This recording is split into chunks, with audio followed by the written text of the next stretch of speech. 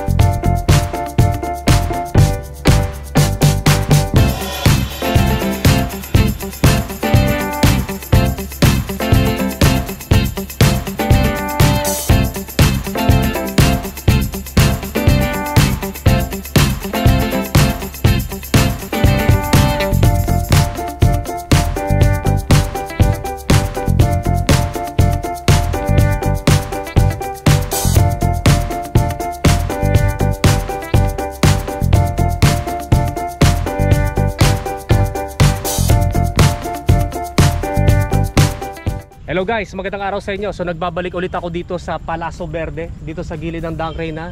Ah, dati sunflower ngayon, ah, sunflower 'yan, ngayon naging puro tupa na. yan, so para tayong nasa Europe. so for this video naman po, so ibabay check naman natin itong kaka, ano medyo kakaiba na setup na Rigid MTB ni Idol VJ Zabalia. So i-check natin ngayon kung ano yung mga parts na naka-install dito sa kanyang ah, ah, Rigid MTB. Kaya mag-start na tayo. So Idol VJ, no, before tayo mag-start, ah, tanong mo na kita, ito ba yung kauna-unahan mo na Rigid MTB? Bale, ito yung kauna-unahon kung ako yung nakabili. Pero meron na ako rigid NTB pa way before pa nung bata pa ako, mga 80s. Wow, 80s. so, Ah, so pwede mo bang i-share sa amin kung nung setup? Bale, ano yun, ang pagkakaalam ko, specialized hard rock yun na 19, 1988 model. Pinamana sa akin ng, ng father ko nung ano nung nag-ano siya Ga- galing Saudi yun eh so siya nag-assemble Okay, ano ano mga ano? Uh, meron mo i-share sa amin kung ano yung itsura? Ano, naka-rigid, naka-suspension na. Ah, rigid lahat yun rigid lahat tapos bakal siya Mm. and then ano siya 26 siya o 24 inches siya So yun na yung mga bilog. yun, yun yung mga pioneer or original Ayun, dati, na dati mga ano ano mahaba yung ano nun, mahaba yung ah, tawag dito yung parang stem yung head nun, yung parang head tube Oh, yata head tawag niya, yun. oh, mahaba talaga. Mm, kasi guys sa mga baguhan, dati kasi ang mga rigid MTB nun, walang suspension. Oh, walang wala wala, hindi pa uso dati. Fully rigid pa dati. Yan. So, kailan lang naman kasi lumitaw yung mga sus- suspension for test siguro mga 90s. Late Mm. 90s siguro no dito sa Pilipinas no. Yan. So, ah kailan ka nagkaroon ng ganitong bisikleta since na pagkala ko kasi matagal ka nang huminto no. Ah, matagal na, matagal. Mm. Then, yung yung yung bike na yun, mula nung 8 years old ako hanggang nung naging nasa college na ako, mga 19 years Ayun old. yung bike mo. Bike ko talaga yun. Okay. Oh, bike ko talaga. Yun yung una mo. Ah, Then ah, yun. Tapos yun, natigil ako nung college hanggang Mm. nung nagtrabaho. Tapos nung pandemic lang. Doon na ako naka- napabili. So Mm. hindi ko na alam kung ano yung mga geometry, na one by na pala ngayon, yung mga Mm. ganyan. So ito kasi uh, binase mo lang doon sa itsura. Nag-base ka na lang, mag-base ka na lang sa itsura kung ano yung preferred mo, no? Yan. So, so next question naman, ah, ano yung intended purpose mo dito sa rigid MTB mo? ano lang, cardio, yan, mga cardio lang, pampapawis, and may mga long rides ako, pero yung tamang, ano lang, tamang party pace nga lang, ika nga, mga Mm. ganun. Tama exercise lang naman wala Oo, ano. mostly pang Mm. ano lang, leisure ride and ano lang, talaga cardio. Which is ano naman yun, maganda rin yun kasi Oo. ah, ano yun eh, ang particular na zone, power zone na ginagamit dyan, mga zone 2 endurance. Ah, yung mga ganun. Yan. ah. Then next question naman idol, ah, bakit na ano ah, eh, di ka nag-opted sa road bike since na pang road use naman Ah, yung number ano? one reason ko yung drop bar, hindi talaga ako ano. Okay, yung handling. ah, yung yung drop bar niya, yung position mo sa ano, ma hindi ko talaga kahit ni minsan maski noon hindi ko siya nakasanayan talaga. Hindi- Yun lang talaga. Hindi ko talaga para sa yung ano Hindi yung talaga. yung ano yung Ah, parang ah. handling capability ng Ah, ah, ng drop bar no. Mm, Mas ano pa rin, mas And- okay pa rin ganyan. And based sa mga ano ngayon, mas mas secure yung utak ko pag malalaki yung gulong. Ayun nga, pare doon tayo parehas. Doon tayo parehas kasi yung gulong na ganyan kat, ganyang ah, kataba ah, kahit na ano kahit na medyo pagare may mga long rides tayo na unpredictable yung mga kalsada. Oo. Minsan may mabibigla ka na lang na may mga tir- tinataba ano, tinitibag na Mm, naman yung kalsada o kaya mga lubak-lubak eh ano tayo. Pati may, yung mga yung mga biglang tatasahan nila sa gi- gitna tapos biglang mahuhulog yung ano mo. oh, yung mga gaps na magkakasya na ma- ma- isang diretso lang. Mm, mag yung mga ano, yung mga magkakasya yung mga 700 sila Mm, gulong. ayan, Kahit yung naman sa gravel na gulong magkakasya rin kasi Ah, mapayat pa rin yun ah, compare dito. Kaya eh. kung mag-gravel man ako, at least 50C eh. Oh, yun. Kasi talaga na ano ako sa makakapal. oh, sa gravel, unless na ano, yung mula sa 50C, kasi yung, kasi yung 50C halos 2.0 na yun. Eh. 2.0. Oh, yeah. Yun, kasi meron kasi mga gravel na ganun katataba. eh. Ah. Yun nga, parehas nga tayo dun sa gulong. Eh, kahit na ah, ha, ano, harapin mo na klase ng kalsada, meron kang may confidence. confidence ka talaga eh. At saka safe tayo. Oo. Ah, kasi nga mataba yung gulong. Kasi nga yung mga lalo na ako dumadaan ako dati sa ano sa MacArthur Highway Delta ano eh nanay ko taga Bulacan eh. Mm. Eh basag-basag kalsada doon. Oo. Eh anong silbi ng anong silbi ng ano ng top speed ng road bike eh di naman magagamit, 'di ba? So useless lang. Hindi so mo rin maano yung ma-achieve yun eh. Mm, di talaga. Yeah. So maganda talaga yung practical at kung ano yung ano kahit saan kalsada po pwede. So yun yung uh, reason at purpose ni Idol VJ dito sa kanyang Rigid MTB. So Idol VJ, mag-start na tayo sa XC Hardtail mountain bike frame po ninyo. So anong brand at model pala nito? Bale, ano to, ah, Beta Comtail na 2022. Comtail. brand. Ayun, 29er. Com ah Comtail, ah Beta Comtail oh. Ah ngayon lang ako nakakita na ganitong klaseng ah, beta na model. Although na meron na ako dating na no na na bike check na ganito, na beta na brand pero Mm. first time lang ako nakakita ng Beta Comp Comp pala, Comp Ah, ah, Beta Comp Tail na XC 2022. 2022 no na XC Hardtail mountain bike frame. So ito, pag alam ko ah ayun, tama. Ah, aluminum 6061. Then ah, yun nga sabi nga niya pang 29er nito. Ah 29er nito. Then ang size nito, ah, ano to, medium large. Large siya, bale, size 19. Ah, size 19. Ah, large. okay. Size large or size 19. Then ang head tube nito pang tapered. Tapered. Then ang cable routing naman ito sa FD tsaka sa RD internal. Internal. Pero sa rear brakes external. Ah, ang bottom bracket sa laman nito ay para sa BSA threaded threaded o press fit. Ah, press fit yan. Ah, ah, pagkakalam ko press fit na yan. Ah, press fit to no. Ah, press fit Kasi medyo kakaiba. Eh. Yung nakita ko kakaiba no. Press fit daw ito itong kanyang bottom bracket Ah, shell. As far as I know. ah.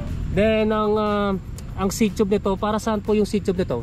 Ah, 27.2 na ano na nga yun yung stock na yan, stock mismo yan. Ah, yung day yung taba pang 27.2. Ah, 27. Ayun, 27.2 mm diameter na seat post.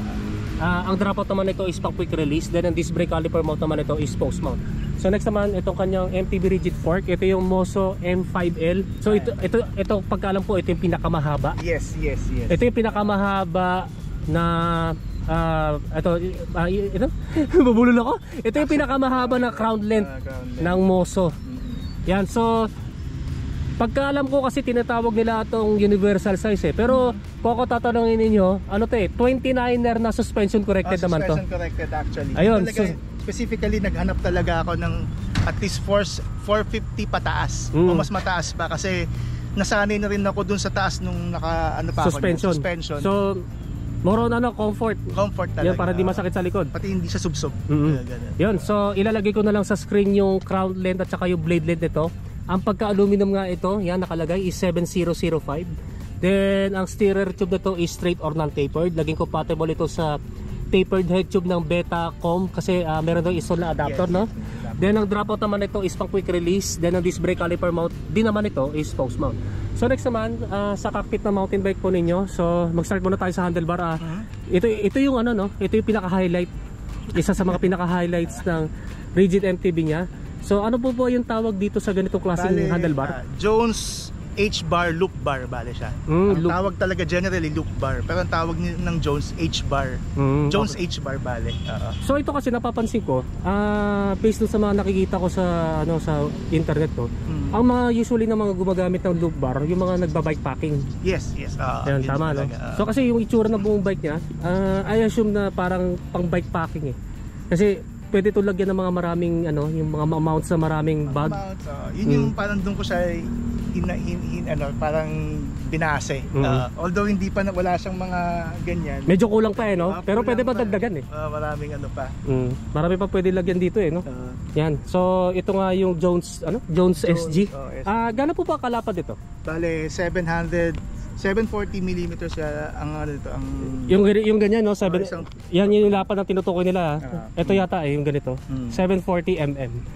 Then ah ito pa lang ano nyo, handlebar grips. Ganda no? Ganda oh, ah, anong ESI brand yan, ESI. Ayun, ESI na Hindi ko silicone. no? lang nilalagay yung ESI ko na ano kasi yung mga luma ko na ano lang eh na natatamaan eh. So di ko muna nilalagay. Oh, para ma-preserve kumbaga yung Ah, ESI na ano, yung logo takip, eh. ma-preserve Ah, eh, no? logo. So nilalagay ko muna yung mga sa Jones ordinary. yan. Oh, sa Jones yan. Mm. Pero ito mismo yung ESI, Ah, no? ESI grip So, spray. ayun nga, expected na magandang magandang ang ano, grip levels nito, itong ESI. Then, ano pala, ah, since na marami kasi nakalagay dito, hindi ko, hindi ko makita yung stem Ay, eh. hindi. Ano, bale. Ah, ano pala yung ang stem nito? niya, Pro Coriac stem. Ah, sige. ah, Ito, ito, ito. Yan. Pro stem. Ayun, pro, ayun, PRO, Pro Coriac. Ayan, eh, Ah, ngayon, stem. ako nakakita ng ganitong stem, maganda. Shimano siya, ano siya? Um, parang subsidiary ng Shimano sa mga ano nila. Okay. So ito nga is aluminum. Ah, ano pala ano pala yung ano nito, yung haba at saka ang yung haba angle? niya is 180 millimeters. Ang ano niya is naka-positive 6. Yan positive 6. Ah. Yan. So ito yung preferred mo dun sa ano para yung sa comfort mo no pag nakahawak ka sa Kasi handlebar. mahaba, mahaba kasi siya eh. Yung size kasi niya 19, imbis na pataas, pahaba. Pahaba. So kahit papaano, ginawa ko is, kaya ako nag-loop bar para kahit papaano. Me- medyo mag-upright Ah, position. tapos naka-positive siya. Mhm. Although binaba ko pa rin para din yung fit ko kasi syempre, pag sobrang mataas, masakit din sa Masakit sa braso kahit braso. pag sobrang taas naman. Pag sobrang taas. Ayun. oo. So ito yung kanyang ah, stem no. So next naman itong kanyang tapered headset. Ah, ano ah Mountain Peak pala ito. Mountain Peak, oh. Bali Yeah. ano lang yan, afterthought lang yan nung nilagay na yung bago. Mhm. Bumili na lang ako ng kahit ano, kahit ano na lang dyan, binigay sa akin nung mekaniko. Sige, Ah. Mountain Mountain Peak na yung nilagay. So Oo. okay. Yun. So ito yung seal bearings no. Maganda naman yung Seal performance ito, matibay ah, naman. Mountain Peak yan eh. Mm, ma- Matibay naman yung Mountain Peak, nakagamit na ako ng ganyan. So next naman ito kanyang seat clamp. Ito ano, ah Seat post ay itong ah, seat clamp ano, stock to ng beta no? Ah, beta yan. Yan, stock to ng beta. So ito is aluminum, quick release type. Then ang diameter nito is 31 31. 27, 27 point. Yung seat post kasi 27.2. Yan yung ano Yung yung ano, seat Yung- post. Itong clamp na to is 31.8. Ah, siguro. Oo, Ah, yata. Mm, 31.8 yan pag sa seat Ah, clamp. okay. Ah, Mm. sige. Then yung sa seat post, ito nga 27.2 yung taba. Mm. Ah, ano po yung haba nito, idol? Bali, na- nasa 7, nasa 4, ano ba? 400. 430 yata. Parang ganun. Mga Hindi ko 400 rin to. alam eh, hindi ko alam eh. Kasi ano to eh, ah, ang tawag dito, ah, nag, ah, ano, Ah, da- oh, sorry, sorry. so, eh, ano? Ano pala to? Dropper post Ah, pala dropper to. post, Pasensya na. manual lang, manual. Kasi hindi ko nakita dahil na dami nakatakip eh. Eh anong brand po nitong dropper ano, post lang, ano lang yan, KS Exoform lang na dropper po. Ano po ulit? Eh, KSX? KS. KS. Exoform dropper seat post na manual. Ah, ah, manual. Ah, manual. Kasi meron kasing ibang ano na may remote no. Ah, So Pero ito- magkakaroon din ako nun, tinitesting ko lang kung ano. Kasi Mm. parang pag nabudol ako sa mga light trails, pa- pababa. Pababa. no? Mahirap na yung guess. Medyo ano kasi di ko ka- di ko napansin na dropper post pala kasi may, may mga nakalagay dito na ano eh, no, yung mga ganitong tela-tela no. Ayun, so ito pala yung kanyang ah, seat post no. So next naman, ah, ito pala yung pala yung seat post niya. Yun, may setback ito, setback, Ah, may setback na may single bolt clamping system. So next naman ito kanyang saddle ito yung ah, Cell Italia SLR Techno Flow. So mukhang ano, matindi yung saddle niyo ah. Habol ko lang ito ano, yung Yung butas sa gitna, ah, butas sa gitna. Kasi Para- yung stock niya masakit. masakit sa yag balls. Ah, sakit. Mm. Then ito, tingnan natin ha. Ah, hindi gaano malambot kasi nga manipis yung foam. Pero ano naman to flexible. Yes. Then ang release nito ay steel. So syempre, Cell Italia to, siguradong komportable sa ito. Komportable Oh, ba? komportable, komportable. Mm. So ito yung kanyang saddle, no? So next naman, ah, sa drivetrain setup ng mountain bike po ninyo, so mag-start muna tayo sa shifter. Shifter, bale, ano po siya, so buong ano siya, ah, um, SRAM Eagle po siya. Ayun, SRAM Eagle GX. GX. Yan nakalagay dito. Pang ilang speed to, Idol? 12. Ah, pang 12 speed, no? Ah, 12 speed talaga. So parang ngayon lang ako nakabike check na ang, dri- ang shifter ay SRAM. bale, buo na siya. Isang buo na, no? So, ibig sabihin, Buong group set siya. buong drivetrain parts nito ay SWAM. Tama ba pagkabasa ko? SWAM. SWAM GX, SRAM, no? SRAM, ah. Yun, naka one by setup ito kanyang mountain bike. So, wala kayong makikita na front shifter, front derailleur, at saka extra chain rings. So, next naman, tingnan natin yung details ng kanyang SWAM. Ate lang, halin natin. Yan, SRAM GX na kanyang Halotech, Halotech MTB crankset. Ah, gaano po kahaba itong ano, yung crank arm nito? 170 ano? 170 na siguro yan kasi hindi na, wala naman siyang special na ano eh, na sinabing yung length eh. Basta yung stock length lang talaga ng SRAM. Ah, 170. Sure, di ko sure. Ah, pero ito 170. Ah, yan 170 mm. Then uh, yung ano yung bottom bracket po nito. Ano, SRAM din ba? Oh, saan din yan lahat? Ayun, stock ng SRAM itong kanyang bottom bracket. Then ito kanyang ano, ah, chain ring, ah, 3040 na 1 by narrow wide. Then next naman, mm, ito pala direct mount no? Direct Direct, mount, yan, direct mount, wala yung mga ano, BCD BCD. So Wala na, wala. napakagaan itong kanyang crankset. So next naman itong kanyang ah, flat pedals, ano po yung brand po nito? Stamp, ah, Crank Brothers Stamp 1. Ayun, Crank Brothers. Ah, Crank Brothers. yung stamp po ah, ah, spelling nun S T U S T U S T A. STA. STA, Ah, yun, Stamp stamp. Brothers. Si- ano, Nag, nagiging ano nga ako, slang slang. Stamp Ayun, Brothers. ah, Crank Brothers stamp Ah, stamp. na flat pedals, no? So tignan natin, ang laki ng mga spa, ano, no? So, Oh, te- ano- wag lang dumulas, Ano no? ko lang to, ah, kasi yung stock nito ganito kaliliit. Ah, maliit. Inaasan ko lang kasi sanay ako ng makapit talaga. Hmm. Wag lang, ano, wag lang sanang dumulas. Itong, Hindi natudulas yan sa akin. Oh, wag lang tumama sa shin mo, no? Sakit yan. Sanayan na lang pati Sanayan. noon, noon Mm. ano talaga tumatama. Pero Ayun. ngayon, Okay sanay na. talaga ako. Wala Sanay na tama no? sa akin. Wala, wala hindi tumatama. Oo. so ito yung kanyang MTB flat pedals no. Ah, so ito naman ah, kita-kita natin na na- napakaganda ng kanyang SRAM ah, GX Eagle na 12 speed chain. Linis. Yummy. So next naman ah, ito palang SRAM GX niya na ano, SRAM GX ah, GX na cassette sprocket. 11 teeth yung ay di pala no. Ano ba to XD? 11 yan. Bale, Storm Eagle siya, Lunar Edition.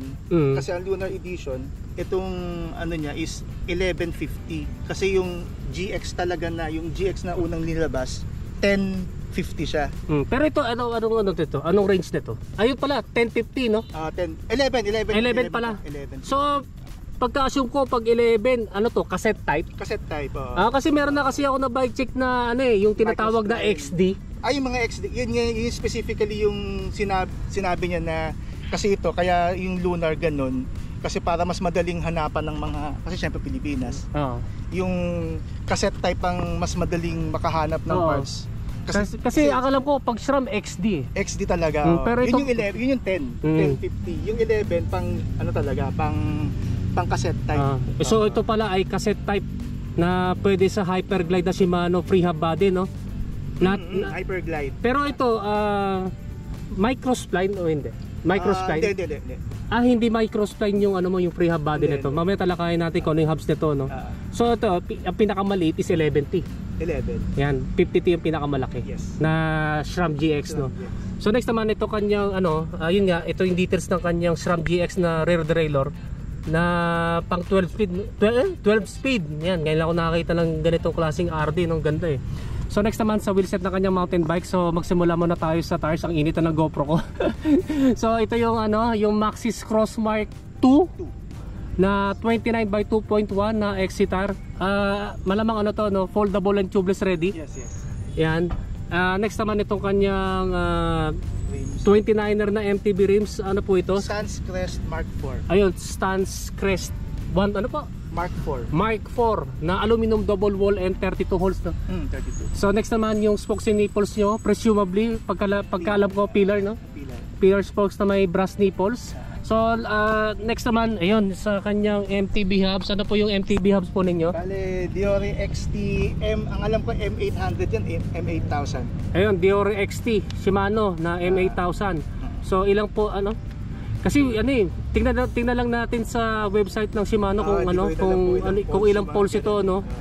Ah, nasanay na kasi ako sa mga binibenta ng mga Max Zone, Speed Ah. 1, kung ilang poles ito kasi Dior XT. Ah, ilalagay ko na lang sa screen yung spe, ano, yung specs nito kung ilang kung ilang poles nito. Ah, ito bang Dior Ah, alam mo ba kung seal bearings ba to o ball bearings? Kasi Seal bearings yan. Bale. XT na kasi eh. Ah, pag si ano pag Dior XT Ang alam pala. ko, pag XT na, talagang lahat na yung seal bearings Okay, na. kasi yung mga ibang ibang parts, ibang ano Shimano kasi ball bearings. eh. Pag yung mga non-series yata. Okay. So, kasi type of prehab body, yun nga sabi, seal bearing. So, i-check natin yung tunog nito, idol, kapag naka-free wheel.